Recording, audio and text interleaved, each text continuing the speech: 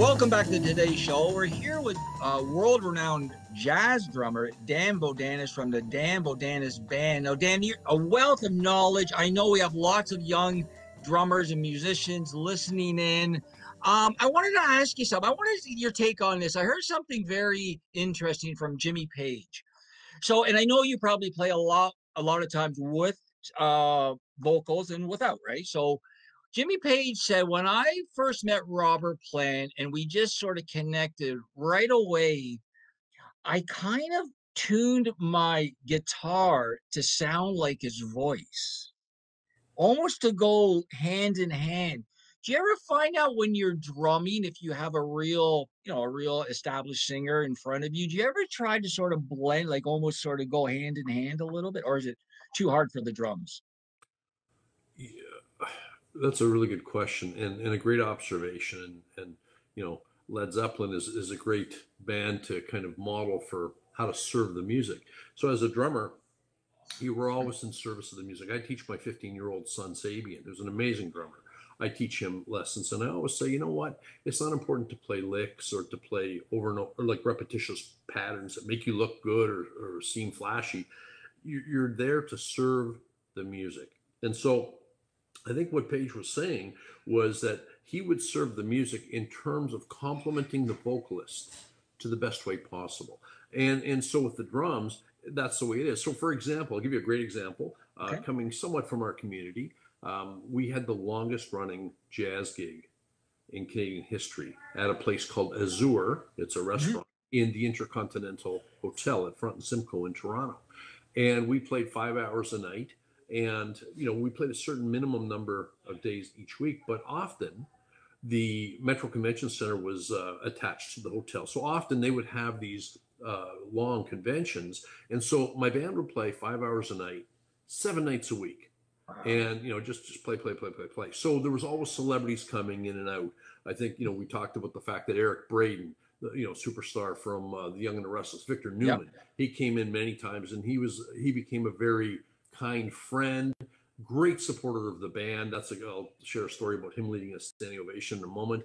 But the one person that came uh, up on stage to sing with my band was the great Olympia Dukakis. Wow. And uh, I said to Olympia, I was really being really cheeky with her. You know, she, she's she's Greek and I'm Macedonian. And I said, you know, uh, I said, so great that, uh, you know, you brought so much fame to the Southern Macedonian community. and oh, she gave me a slap in the face. She pinched uh, me. She said, I love you. And she's, you know, there's Olympia Dukakis, this, uh, you know, amazing lady, just being so uh, accepting of my cheekiness and, and, and just fun I was having. She got it. She said, Dan, I want to sing Misirlou with your band. I said, okay, how about this? We'll do like a like a Middle Eastern kind of a you know, um, almost like a belly dancing kind of a vibe, not like the the version of Misirlou uh, in the movie Pulp Fiction. She says, no, mm-hmm. forget about that. She says, and you know what the belly dancing thing? Yeah, you go to every Greek wedding, that's how they always play it. I said, you don't want it like that? She says, no. She said, you know what? So just follow me. I said, well, you got to give me some more structure than that, Olympia. Yeah. So she goes, I don't want any beat, not a steady beat. I said, okay, so we'll do it um, uh, rubato. She said, what does that mean? I said, rubato means without rhythmic accompaniment, but I'm going to make some noise in the background, you know, you know, some cymbal swells, some tom tom swells. She goes, perfect. That's perfect. So Olympia came up on stage with my band, no rehearsal, and she sang it and she lifted the place. I mean, she got a standing ovation and somebody recorded it, which I, would love to, because I actually saw the recording and I heard the recording. Um, I have pictures. It's it's on my Facebook page but uh, I, would love to have that recording because I, I, never did get that. And after she was so cool, she said, Dan, post it on Facebook, get the video out there, it'll help promote your band. She was amazing. So, you know, in terms of what Jimmy Page was saying and vocalists yeah. and, and musically, we're all there to support the main voice of the music or the, the song itself. That is, Dan, you are a wealth of knowledge. Like, I love hearing stories. It's almost like behind the scenes stories, right? Like, yeah. how did you get there? Tell me your downfalls. Oh, I remember, you know, I obstacle, I overcame this. And then it's, it's all about sharing the success. So there's so many more things to talk about. Let's kind of move ahead. Can you share with me maybe, well, obviously a couple inspirations in your life. Your first one obviously would be your dad So let's, you know, obviously your dad's probably your number one inspiration when it comes to music. Is there another one? And share maybe a Toronto story with a fellow musician who you might think a lot of Torontonians would know of, like a positive story if you have. So, inspiration besides your dad, obviously, and then maybe a Toronto story with a fellow famous musician like yourself. Oh, there's so many to draw from. Um, probably one of the most um, impactful stories I could tell is the fact that uh, when I first met my wife to be, she's now been my wife for almost 36 years. Her name is Kelly. And when I first met Kelly, I saw her. I thought, man, she's the most beautiful woman I've ever seen in my life. I'm going to marry her. And I was playing at the Constellation Hotel, backing up uh, Vic Franklin. And Vic Franklin was an internationally renowned person. He had the Vic Franklin show. And at the time, that was a big show. He used to have people like Eng- Engelbert Humperdinck, oh, Tom oh, yeah. Jones, Diana Ross, uh, the Supremes, Gladys Knight and the Pips. He had all those types of people on his show. And so I was lucky enough to be in his band. And when my wife walked in, she, first of all, we had dancing girls on the, um, or dancers, sorry, dancers on the show, backing up Vic. And they both sang and they mm. danced uh, like a Vegas style show. Yeah. And so one night there was nobody in the club except my student, a Greek uh, boy named Fotis. And he came in to watch me play. And we're playing the first set, which was just quiet bossa novas, quiet background jazz. We play from nine to nine thirty, half hour break, and then ten o'clock, bang, lights, and the you know it's a big production, Vegas style, you know Broadway show with Vic Franklin singing, and he was he was fantastic. He was like mm-hmm. Canada's Sinatra.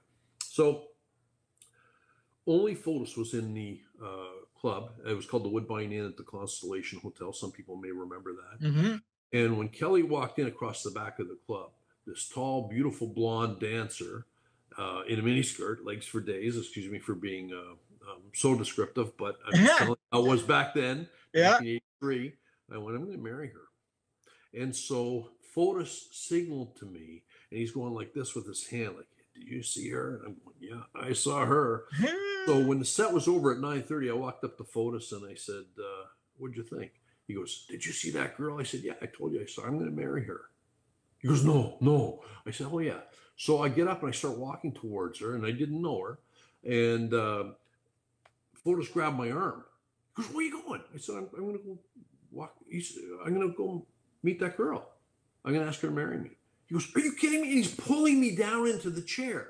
How great! And so I sit back down because he's literally pulling me. I said, "Fotis, I'm just going to go." He starts sweating. He's getting nervous for me. For some reason, I wasn't nervous. I was, I don't know, I don't know what I was, but um, it's just one of those things where I knew. And so then uh, he said, Swear to God, you didn't know that girl? You don't know that girl at all? You never seen her before? I said, Fotis, he answers no to all those questions. But I'm going to ask her to marry me.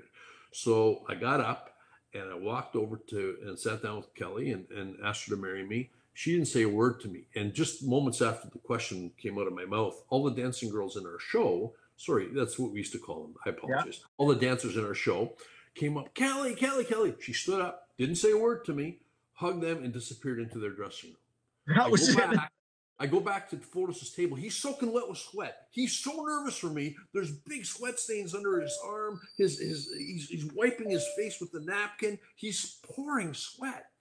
And he goes, What happened? I go, Nothing. Did you talk to her? Well, I, I asked her to marry me, but she didn't say anything. What do you mean you asked her to marry you? you're kidding, right? I said, no, no, I really did ask her to marry me. wow, look at so that. Then, so then I found out two weeks later that she, Kelly was a dancer and an amazing singer. And so within six months, you know, well, within a few weeks we were dating. Within six months we were engaged. Two years later we got married. But here's the thing I didn't input. Kelly is an amazing singer, an amazing dancer. She's what they call a triple threat. So sing, dance, and act. And she was a former Miss Dance of Canada, 1981, the very first Miss, Miss Dance of Canada. Wow. So she's what they call a triple threat. And, you know, in terms of inspirations, my wife would come on to a gig with my dad and she would sing the, you know, sing the daylights out of a, whatever song she had to sing, whatever the popular pop tunes were of that day at somebody's wedding. And then when uh, she was doing shows, she was doing big shows like Evita. Uh, she did um, uh, Crazy for You at the uh, Royal Alex. So, Yeah. so Kelly auditioned for Crazy for You, and it's a show. It was a fantastic show. It was a Gershwin musical out of New York, and so the the Broadway um, uh, producer uh, came up to Toronto, handpicked the cast, and Kelly was picked because she was the only dancer in the world at that time that could do tap dancing on point. Now, ballerinas would know that point dancing is where you dance on your toes. It's very difficult, very strenuous. But the other side of it is, is Kelly could actually tap dance while on point, and she had to do it on a table that was four feet high, and she's on a on a stage at the Royal Alex Theater doing this every single night. And they they did this show for three years, eight shows a week, like two matinees a week, and over a million people saw my wife uh, in the show Crazy for You. It's a show about eight beautiful women dancing and singing and my wife was one of the those eight women who and so you know you ask me about people who inspire Wow. me people who do amazing things my wife would be very very high up on on you know my list of as the most inspirational person i know That's a great that's a great story. Thank you so much for sharing that, Dan.